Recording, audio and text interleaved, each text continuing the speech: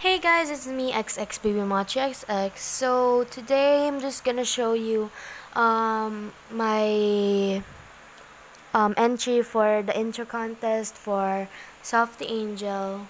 So I'm sorry if this is so ugly and I haven't been posting lately. It's just because of school. Um, they have so many requirements to do and stuff, and it pressures me so much. Even though I really wanted to post something, I can't of course I have to focus on my studies as well.